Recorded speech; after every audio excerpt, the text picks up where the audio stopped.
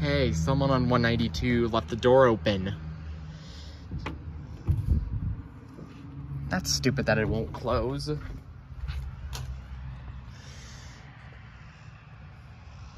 crap. It's got that handle thing up there.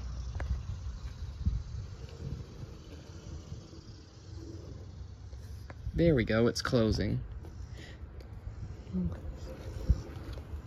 This is the first time I've ever doing this.